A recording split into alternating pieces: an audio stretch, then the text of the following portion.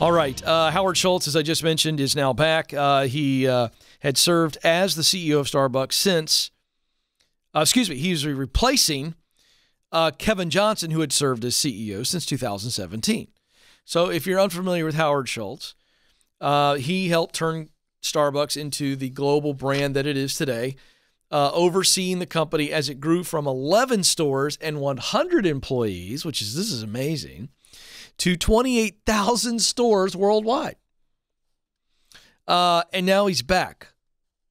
Why is Howard back? It's not just to replace the outgoing CEO, Kevin Johnson. It's because Starbucks has got its hands full with its workforce. And they're going, we need Howard back. Starbucks workers are increasingly upset. And not only are they upset, they are banding together and trying to make unions happen.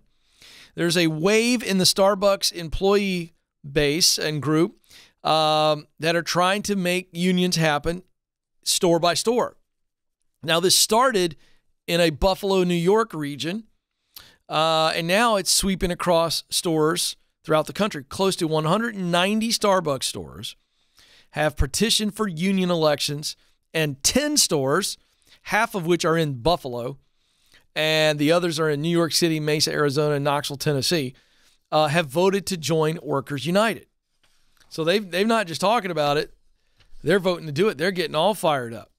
Uh, in this article, which by the way is a, uh, I believe this is a, um, uh, boy, I don't know what it is. Anyway, what is it? Thank you. NPR. They've got a picture of a bunch of Starworks or uh, Starbucks workers huddled, raising hands in the air as though they have just won a big basketball game or football game. If you detect a little bit of rancor in my voice, I'm just getting warmed up. Hang on for about two minutes. I'm about ready to tell you, fine folks, the lie that unions tell you and the negativity that unions create. Oh boy. Stay tuned. It's just moments away.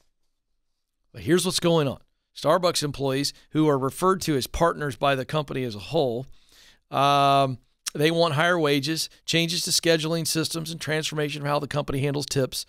Some have expressed frustration as pandemic benefits, such as hazard pay and daily food and drink allowances, were taken away even while Starbucks sales rebounded and profits soared. Uh, so, so Schultz comes back. And the big mess he's got to try to clean up is this whole unionization situation. So he goes to, to Buffalo, where all this started, and he talks to the workers there, and he basically says this is a direct quote no partner has ever needed and he's talking about, again, Starbucks employees. That's what they refer to them as. No partner has ever needed to have a representative. He's talking about union rep to seek to obtain things we all have as partners at Starbucks. I am saddened and concerned to hear that anyone thinks that this is needed now. Now, it's not just Starbucks.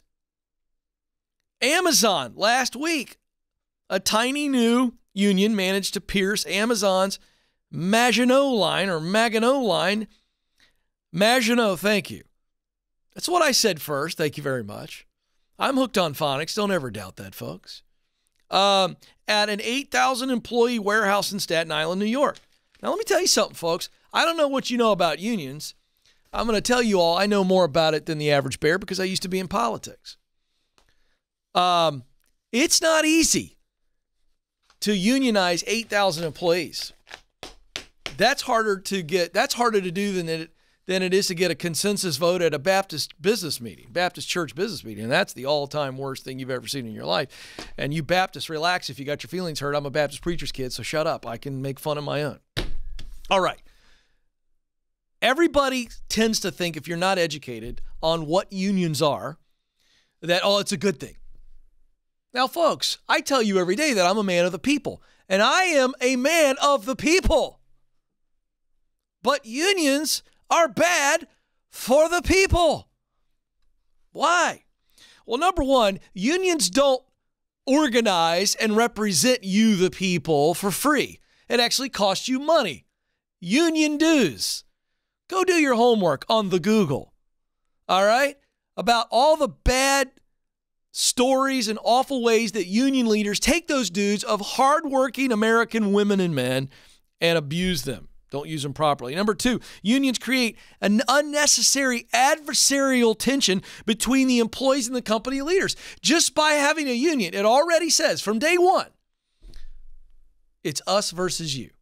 Number three, unions' decisions don't always represent the people in the unions. They don't always advance the wishes of the employees. Number four, unions by nature discourage individuality and personal growth because it's not like, hey, I can win in this company and grow, climb the ladder. No, you can only do what the union says you can do.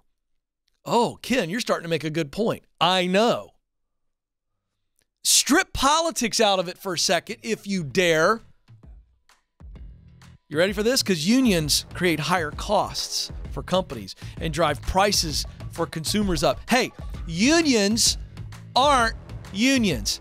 It's a political organization that doesn't help anybody.